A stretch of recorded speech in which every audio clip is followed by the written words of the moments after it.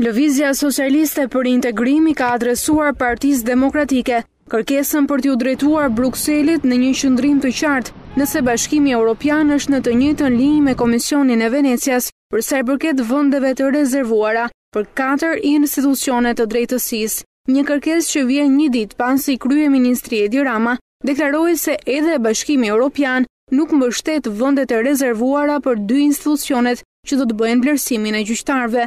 Opozita, pra Partia Demokratike, mendoj se duhet të kërkojë në mënyrë të qartë vetë ajo Bashkimit Europian, pra në Bruksel, në nivelet më të larta, të shprehen lidhur me pretendimet e opozitës. dhe të kërkojë e të gjejë një zgjidhje të pranueshme me opozitën për këtë çështje të vetme që e pengon konsensusin.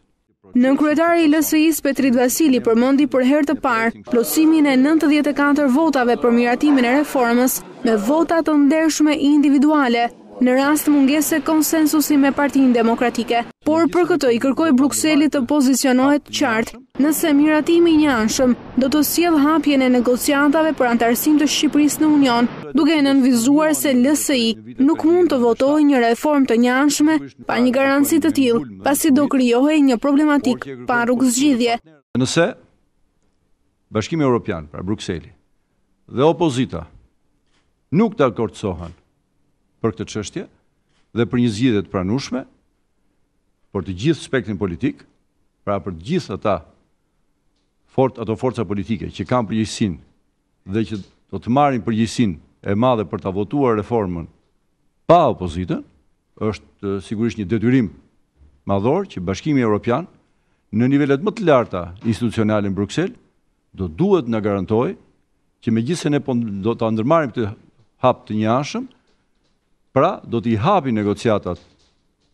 për anëtarësim të Shqipërisë në Bashkimin Europian, edhe nëse dialogu politik do të ndërpritet, pasi ky veprim i njëanshëm sigurisht e çon në ndërprerjen e dialogut politik.